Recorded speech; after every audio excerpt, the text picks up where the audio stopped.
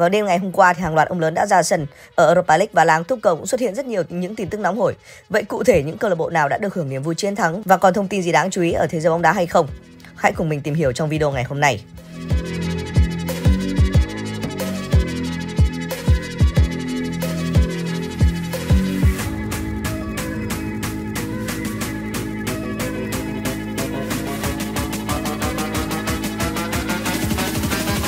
Dù phải đến làm khách trên sân của Sporting Lisbon, nhưng Arsenal vẫn quyết định ra sân với đội hình gồm một vài cái tên thường xuyên phải ngồi dự bị. Thế nhưng đại diện nước Anh vẫn là đội mở tỷ số trước sau pha lập công của William Saliba. Tuy vậy, sự nỗ lực của đội chủ nhà đã được đền đáp khi họ đã có bàn gỡ của Gonzalo Inacio và kết thúc 45 phút đầu tiên với tỷ số hòa một đều. Mọi chuyện còn diễn ra theo chiều hướng có lợi hơn cho câu lạc bộ xứ bồ khi Paulinho chọc thủng lưới Arsenal để nâng tỷ số lên 2-1 vào đầu hiệp 2. Tuy vậy, tình huống phản lấy nhà sau đó của Morita đã khép lại trận đấu với tỷ số hòa 2 đều. Kết quả này khiến cho tấm vé đi tiếp vào vòng sau sẽ chỉ được định đoạt ở trận lượt về diễn ra trên sân động Emirates. Bước vào trận cầu cúp C2 sau trận thua mới mặt trước Liverpool nên Manchester United đã rất nỗ lực để tìm kiếm một kết quả có lợi. Ngay ở phút thứ 6 hiệp 1, Marco Rashford đã điền tên mình lên bảng tỷ số để đỡ đội chủ nhà vượt lên. Tuy vậy, những nỗ lực từ Real Betis đã giúp họ có được bàn gỡ do công của Ayore Perez ở phút thứ 32. Thế nhưng lợi thế sân nhà đã giúp Quỷ Đỏ có liền 3 bàn thắng của Anthony, Bruno Fernandes và Wolves để khép lại trận đấu với thắng lợi 4-1. Chiến thắng đậm đà này giúp cho thầy trò Erik ten Hag đặt một chân vào vòng đấu tiếp theo. Dù được thi đấu trên sân nhà nhưng các cổng viên của Juventus đã phải đợi đến tận phút 53 để được ăn mừng với bàn thắng sau pha lập công của Di Maria. Kịch tính của trận đấu được lên cao khi Freiburg đã chọc thủng lưới lão bà không lâu sau đó, nhưng rồi VAR đã vào cuộc để giữ lại lợi thế trong lớn nước Ý. Một không là kết quả cuối cùng của trận đấu và Juventus sẽ phải rất tập trung trong trận lượt về nếu muốn giành quyền đi tiếp. Bên cạnh các cuộc đối đầu ở Europa League từ sự quan tâm của nhiều khán giả cũng được dành cho trận đấu giữa Al Ittihad và Anas ở giải vô địch quốc gia Ả Rập Xê Út.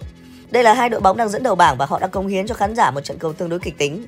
Bên phía Anas, Cristiano Ronaldo đã có một ngày thi đấu không hiệu quả khi anh chỉ sút trúng đích một lần trong suốt 90 phút và đã không thể điền tên mình lên bảng tỷ số.